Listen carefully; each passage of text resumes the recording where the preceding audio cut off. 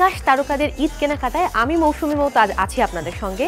একদম প্রচুর কেনাকাটা করব, তবে আমি খুবই কনফিউজড একটা মানুষ এবং যেটা হয় যে কেনাকাটার সময় সাথে একজন না হলে খুব একটা জমে না। মানে আমি কোনো সিদ্ধান্ত নিতে পারি না যে আমি কোন পোশাকটি কিনবো। আর এই ঈদের সময়ে যেহেতু রোজার মাস চলছে, এই সময় তো প্রচুর শো নিয়ে ব্যস্ততা।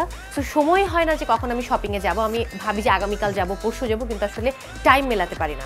সেই জায়গায় আজকে যেহেতু সময় পাওয়া গেছে, আমি চেষ্টা করব যে আজ আমার কেনাকাটাগুলো শেষ করতে, বিশেষ করে আব্বু এবং আম্মুর জন্য কেনাকাটা করব, ছোট ভাইয়ের জন্য কেনাকাটা করব। তারপর আমি ফ্রেন্ড সার্কেল এবং বাকিদের কথা ভাববো। চলুন, যাওয়া যাক। তো আমি চলে এসেছি গুলশানে প্রেমস কালেকশনে। চলুন যাওয়া যাক।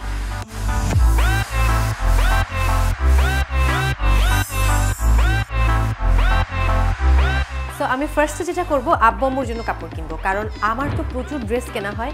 নিয়মিত এক একটি শোয়ের জন্য এক এক রকম ড্রেস আর যারা আমরা আসলে কাজ করি মিডিয়াতে, তাদের দেখা যায় যে এত এত পোশাক নিতে হয়, এটা একটা বাতিকের মতো এবং রেগুলার প্রফেশনাল কারণেই নিতে হয়। সো ফার্স্ট কাজ হচ্ছে আব্বু আম্মুর জন্য কেনা।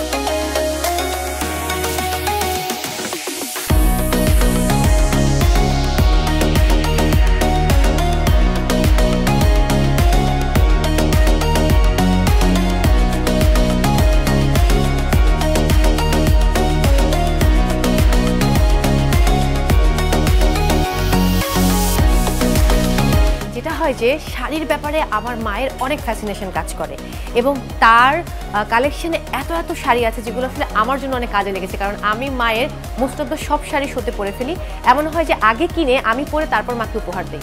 সো দেখা যাক, যাই। কালামকারি রাইট কালামকারির প্রতি ইদানিং অনেকের ফ্যাসিনেশন দেখছি যে ইন্ডিয়ায় গেলেই আমরা কালামকারি কিনতে চাই, কিন্তু এখন তো বাংলাদেশেই সব কিছু অ্যাভেলেবেল সো ইন্ডিয়াতে যাওয়ার প্রয়োজন।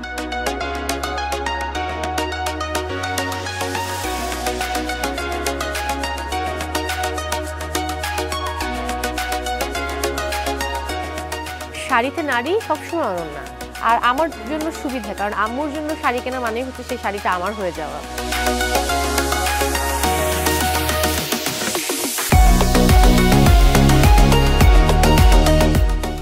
এই দুটো দেন আমাকে, এটা আর এটা হ্যাঁ।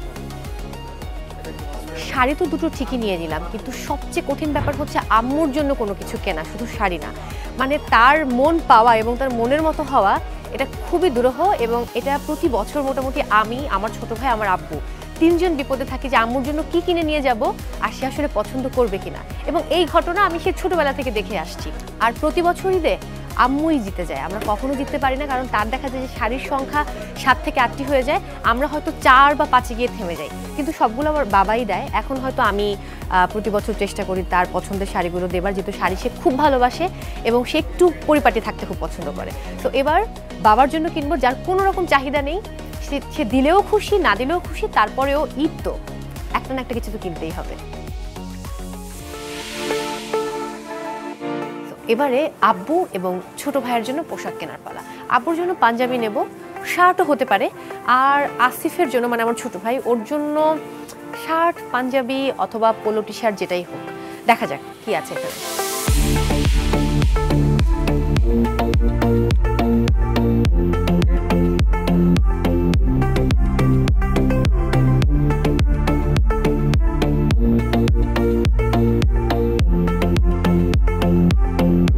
আমার ছোট ভাই আসিফ। ওর জন্য কিছু কেনা আরও কঠিন, কারণ ও কখনোই আমার কোনো পছন্দই তার পছন্দ হয় না। আর ও আমার জন্য কিছু কিনলে সেটা আমারও কখনো ভালো লাগে না। মানে এটা কেন যেন সামহ আমাদের দুই ভাই বোনের মধ্যে একটা প্রবলেম দেখা যায় ও তো ইন্ডিয়াতে পড়াশোনা করে রবীন্দ্র ভারতীতে তো আসার সময় প্রতিবারই আমার জন্য ঘড়ি টপস এটা ওটা নিয়ে আসবে। কিন্তু কেন যেন আমার কোনো কিছুই ভালো লাগে না। কারণ ওর পছন্দ আর আমার পছন্দ একেবারে উল্টো।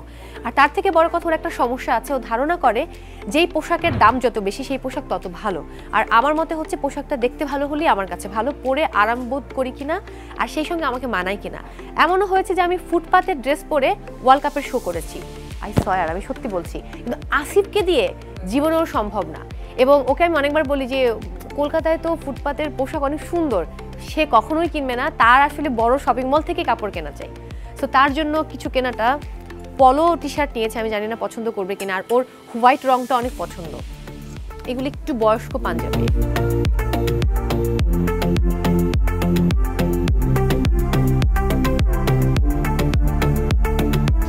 আমি আসলে কোনটা নেব?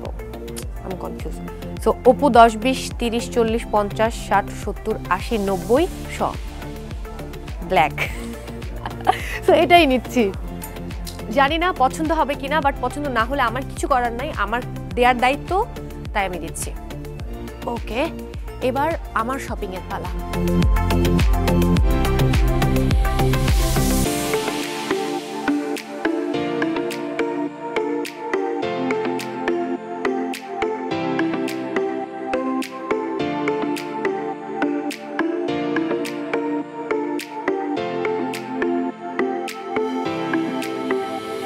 আমাদের প্রত্যেকের জীবনে তো ঈদ নিয়ে অনেক গল্প আছে। আমারও আছে, তবে আমার কাছে ছোটবেলার ঈদগুলো হচ্ছে ভীষণ রঙিন এবং সেই ঈদের মাঝে এক ধরনের সরলতা, এক ধরনের সহজ সুন্দর বিষয় ছিল এবং আমরা সবাই যেন মুখিয়ে থাকতাম পুরো এক বছর যে কবেই উৎসবের দিনটা আসবে।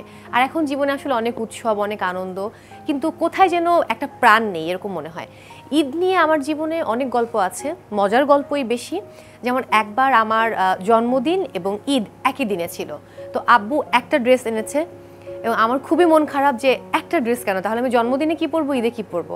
তা আব্বু বলল যে একই দিনই তো ঈদ এবং জন্মদিন। এটা নিয়ে আমার ভীষণ মন খারাপ হলো এবং আমি খুব দুঃখ পাচ্ছিলাম যে এটা কেন হলো?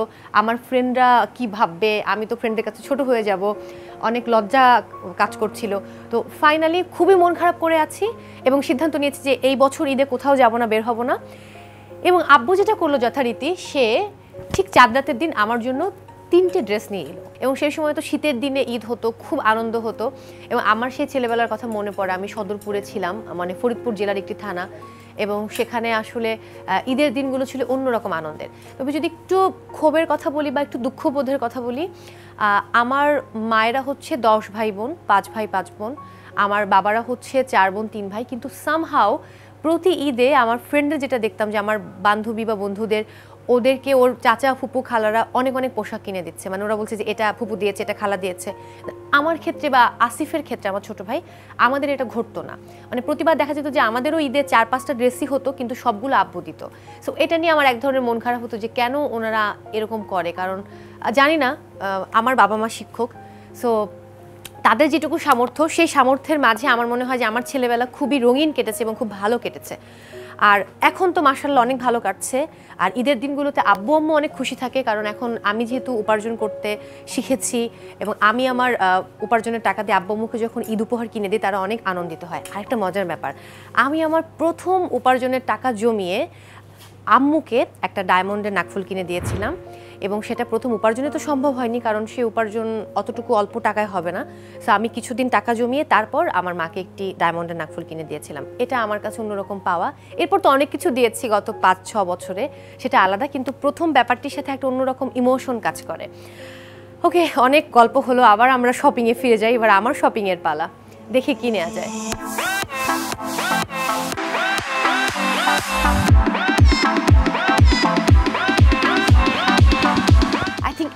বেটার এটা হালকাও আছে এবং পরেও আমি বেশ আরাম পাবো বাট আরও ড্রেস নিতে হবে, কারণ দাওয়াত খেতে তো আর এই ড্রেস পরে যাওয়া যাবে না।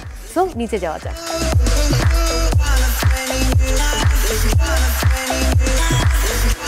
তো আই থিঙ্ক এটাই বেটার এটাই নিচ্ছি, কারণ এটা দেখতে ভালো লাগছে একটু ডিফারেন্ট এক্সকিউজ মি এটা একটু প্যাক করে দেন না। তো কেনাকাটা তো শেষ, কিন্তু এবারে বিল দেওয়ার পালা।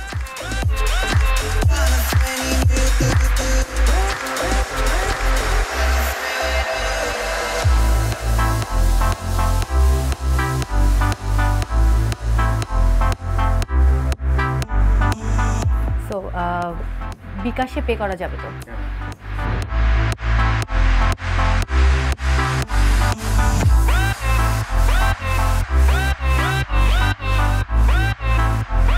ওয়াও আমি সঙ্গে সঙ্গে টোয়েন্টি পার্সেন্ট ক্যাশব্যাক পেয়ে গেছি।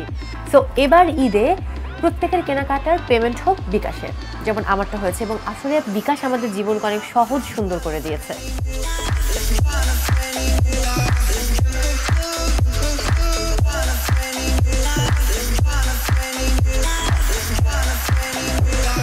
সো আমার কেনাকাটা প্রায় শেষের দিকে এখনও তারপর অনেক কিছু বাকি। আর শুরুতেই বলেছি, আমি শপিং করতে খুব ভালোবাসি, কারণ আমার মন খারাপ হলে দুটো কাজ করি আমি, এক শপিং দুই ঘুরতে যাওয়া। তো শপিং তো অনেক হলো, এবং পরিবারের অনেকের জন্য বাট আমার এখন আর অনেক কিছু কেন বাকি আছে। বাট আপনাদের কাছ থেকে একটু বিদায় নিয়ে নিই। সবাই অনেক ভালো থাকুন, সবার ঈদ অনেক ভালো কাটুক। সবাইকে অগ্রিম ঈদের শুভেচ্ছা। তবে অবশ্যই হ্যাঁ এবার ঈদে শপিং করার সময় ডেফিনেটলি পেমেন্ট করুন বিকাশে এবং জিতে নিন টোয়েন্টি পার্সেন্ট পর্যন্ত ক্যাশব্যাক আর সেই সাথে জীবনটাকে অনেক সহজ করে দিয়েছে বিকাশ।